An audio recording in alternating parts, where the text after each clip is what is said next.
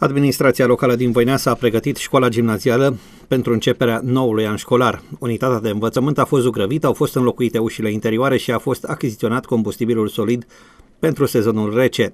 Pentru diminuarea cheltuielilor legate de energie electrică și încălzire, autoritățile locale au luat decizia de a muta grădinița în incinta școlii.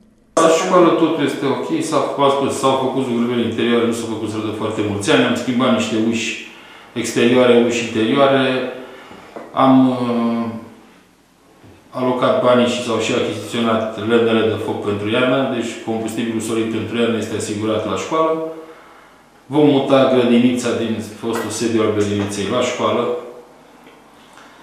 Asta a fost cerută de către de doamna directoare ca să diminueze un pic din cheltuială, pentru că costurile erau și cu energia electrică și cu uh, materialul de încălzire. Și eu zic că școala este ok, se poate începe cursurile liniștit. Are toate autorizațiile din punct de vedere ISU, uh, cei de la Electrica, s-au făcut tot, măsurători de pământ, exact ce trebuie ca să putem să, să avem toate autorizații să fie funcționale. An de an, numărul copiilor se diminuează în localitate, susține primarul Gabriel Năstăsescu. O parte din vină o poartă și lipsa locurilor de muncă, motiv pentru care tot mai multe familii se mută în Râmnicu Vâlcea sau în alte județe.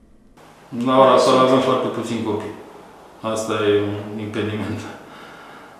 Mai sunt vreo 55 de copii, dar domnul și în mediul școlar, clasele 1-8, erau cel puțin. Și acum erau 28 la grădiniță. 28 sau 32 dacă nu știu.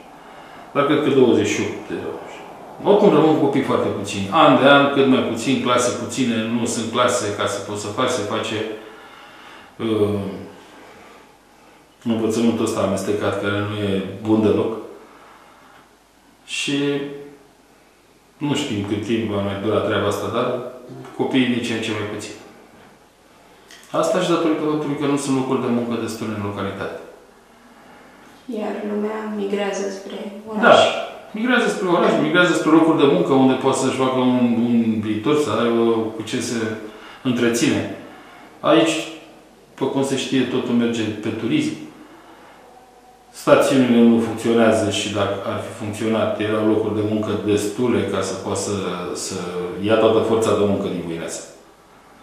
Din păcate, suntem băgați aici unde întoarce uliu, nu vine nimeni să investească. Noi nu avem terenuri ca și primărie să le pună la dispoziție, că dacă ar fi existat să fie avut terenuri, poate, poate găseam pe cineva să vină să investească. Toate sunt terenuri private, costurile sunt destul de mari să achiziționezi un teren. Nu știm, vedem ce o să fie pe viitor. Poate să trezesc și de la sindicate și să mai dea drumul un pic la stațiunea asta. Să o lase în sistem privat, nu neapărat trebuie să fie a sindicatelor. Pentru că Cine investește trebuie să și câștige.